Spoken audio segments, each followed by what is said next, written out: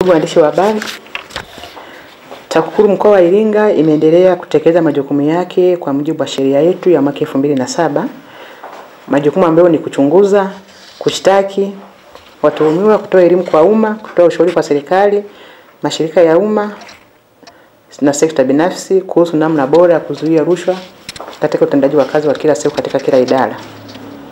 Ndugu wanahabari, kwa mwezi wa tisa tumefanya kazi zifuatazo.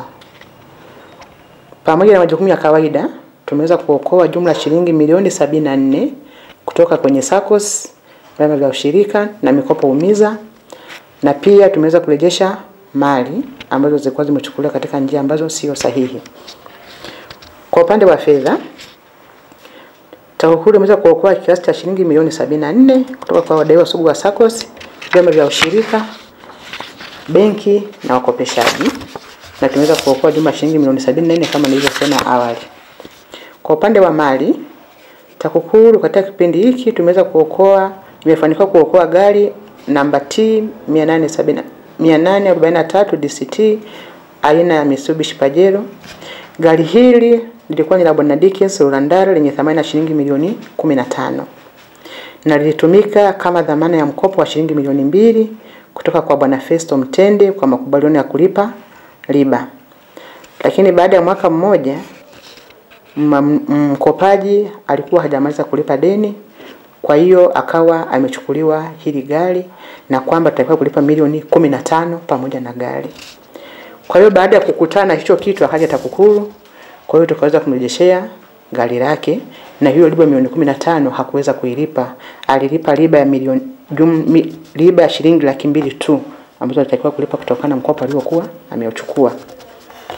Kwa upande wa uchunguzi tuliweza kupokea malalamiko sitini na tatu kwa miezi hii mitatu ambapo baadhi ya malalamiko yalikuwa sio TAKUKURU, yalikuwa ni ya kushauriwa tu, watu, watu wakashauriwa wakaondoka, mengine yakapelekwa idara husika na mengine tunaendelea nayo kwa uchunguzi na yako katika hatua mbalimbali za kiuchunguzi. Vile vile tumeendelea kuwa na mashauri mahakamani, mashauri 33, mashauri saba yalikamilika.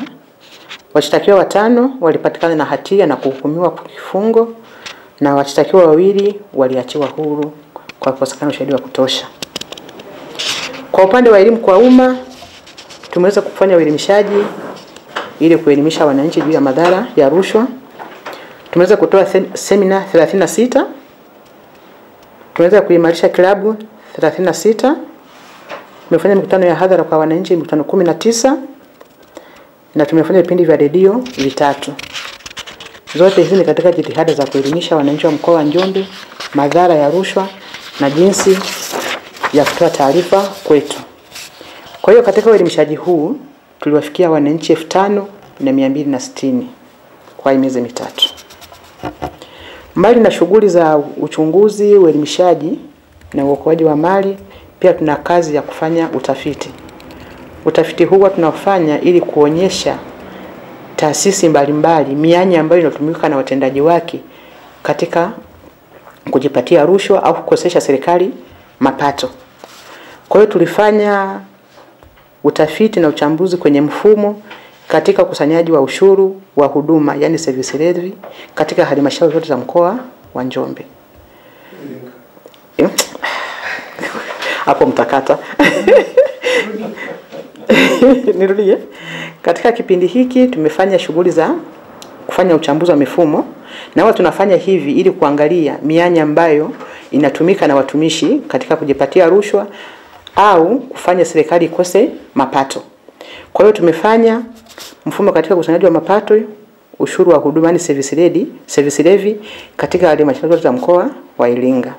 Na baada ya kufanya hivyo huwa tunakaa pamoja na watendaji wa halmashauri zote kuangalia wanakutana changamoto gani katika ukusanyaji mapato na tufanyeje ili kuimarisha kama kuna mapungufu yoyote na tunawekana mikakati naitwa warsha. Tunakaa warsha, tunawekana mikakati na ambapo tunafanya tathmini kila baada ya mwezi au miezi mitatu kulingana tunapokuwa tume tumejiwekea. Vile vile tulikagua miradi ya maendeleo, tulikagua miradi ya miradi nane yenye thamani ya shilingi bilioni sita pointi moja tatu nne. Miradi hii ni katika halmashauri za mkoa wa Iringa. Tulifanya ufuatiliaji wa ujenzi wa tenki la kuhifadhia maji ambalo liko katika kijiji cha Ugwachanya ambalo limejengwa kwa gharama shilingi milioni hamsini. Mradi huu umekamilika na unaendana na thamani ya fedha na tayari umeshaanza kutoa maji. Pia tulifanya ukaguzi wa mradi wa usambazaji wa maji Pawaga Mlenge ambao unajengwa kwa gharama shilingi bilioni tatu katika halmashauri ya wilaya ya Iringa. Mradi huu haujakamilika lakini ujenzi wake unaendelea vizuri na kuna baadhi ya vijiji vimeshaanza kupata maji. Japo inaendelea kujengwa lakini tayari huduma imeshaanza kupatikana kwenye baadhi ya vijiji. Tulifanya pia ufuatiliaji wa ukarabati wa vyumba sasa vya madarasa na ujenzi wa vyoo katika shule ya sekondari Izazi. Ukarabati huu umekamilika na tayari shule inatumika. Ukarabati huu ulitumia jumla shilingi milioni 22. Pia tulifanya ufuatiliaji wa mradi wa, wa maji katika kijiji cha Nyigo halmashauri ya wilaya ya mfindi wenye thamani ya shilingi milioni 413. Mradi huu unaendelea vizuri na upo katika hali nzuri na wananchi wanapata maji.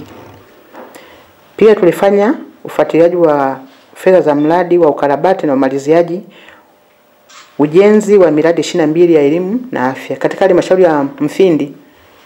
Kuna wadau wale wakulima wa miti. Sasa katika yale mashamba, kwenye mashamba yao kuna vijiji jirani. Kwa hiyo huwa wanatoa huduma kwenye vile vijiji jirani na wamejipangia. Kila wanapovuna wanapeleka kwenye kijiji fedha kwa ajili ya miradi ya afya na miradi ya, na miradi ya shule kwa ajili ya kuhudumia vile vijiji jirani na wanawahamasisha ili wasije labda kama kitokea majanga ya moto kwenye misitu yao waweze kusaidia. Sasa in, katika ku, ku, kujenga mahusiano mazuri huwa wanatoa fedha kwenye vijiji hivyo jirani. Kwa hiyo kuna fedha zilikuwa zimetoka miradi 22 ambayo kulikuwa na shida kwamba wana imani kwamba haitumiki ipasavyo. Kwa hiyo tumeifuatilia na kuona kwamba katika fedha zetu zilizokuwa zimetoka